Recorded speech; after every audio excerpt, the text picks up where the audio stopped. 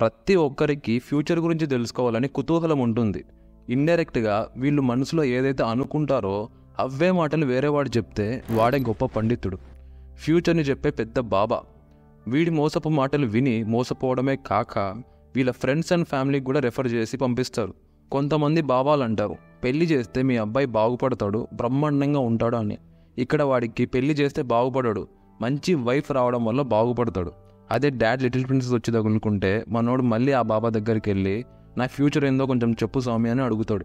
అప్పుడు బాబా ఐదు వేల రూపాయల పూజ ఒకటి ఉంది అది చేస్తే నీ లైఫ్ రెండు పువ్వులు ఆరు కాయల్లాగా చాలా అందంగా ఆనందంగా తయారవుతుందని పూజ చేపిస్తాడు. ఇక్కడ నేనేమంటున్నా అంటే మన జీవితం మన చేతుల్లో కదా ఉండేది. మనకు తెలియని విషయాలు వాడికి ఎలా తెలుస్తుంది? ఆ బాబాలకి ఎలా తెలుస్తుంది? ఇప్పుడు ఇంకో కొత్త ట్రెండ్ ఏంటంటే నా ఫ్రెండ్ ఒకడు సీరియస్గా ఫోన్లో మాట్లాడుతున్నాడు. ఎవర్రా అంత సీరియస్గా మాట్లాడుతున్నావు అంటే స్వామీజీ అంట. ఫోన్లో జాతకం చెప్తాడంట. జస్ట్ హండ్రెడ్ రూపీస్ తీసుకుంటాడు నువ్వు కూడా చేయించుకో అంటున్నాడు. ఫేస్ చూసి చెప్పే జాతకం చూసా. చేయి చూసి చెప్పే జాతకం చూసా. ఆఖరికి చిలక చెప్పే జాతకం కూడా చూసా ఈ మధ్య కాలంలోనే. ఈ ఫోన్లో చెప్పే జాతకం నేను ఇంతవరకు చూడలే. ఇదే ఫస్ట్ టైం. ఎవరైతే ఫ్యూచర్ గురించి తెలుసుకోవాలనుకుంటున్నారో వాళ్ళకి మీ ఫ్యూచర్ చెప్తా వినండి. మీరు డైలీ మందు కొడుతున్నారా?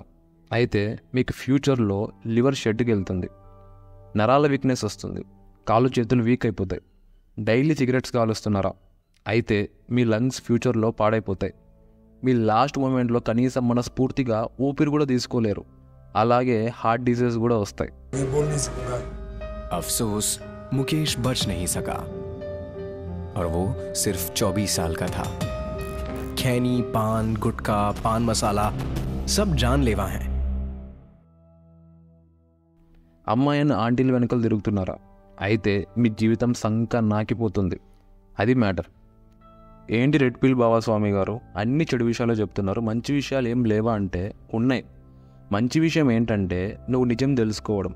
గాల్లో మేడలు గాల్లోనే కడతాం కానీ రియల్గా కట్టలేంగా సో నువ్వు ఈ రోజు చేసే సాక్రిఫైస్ ఈ రోజు నీ ఫ్యూచర్ కోసం చేసే పనే నీకు రేపు హెల్ప్ అవుతుంది. అది నీ లైఫ్ లాంగ్ నీతోనే ఉంటుంది.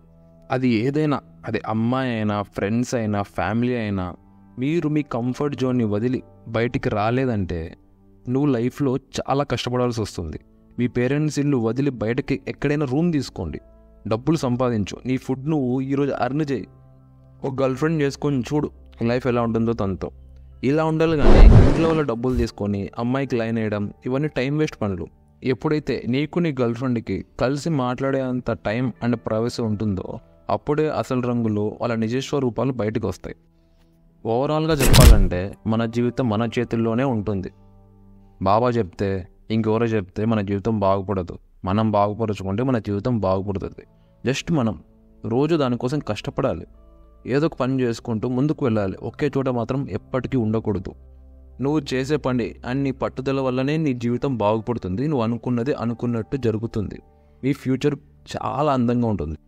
సో ఈ చిలక జ్యోతిష్యం నమ్మి బెట్లు వేయడం ఫోన్లో ఫ్యూచర్ చెప్తా అంటే వాళ్ళకి వంద రూపాయలు పే చేయడం ఇలాంటివన్నీ మానేసి మీ రాత మీరే రాసుకోండి.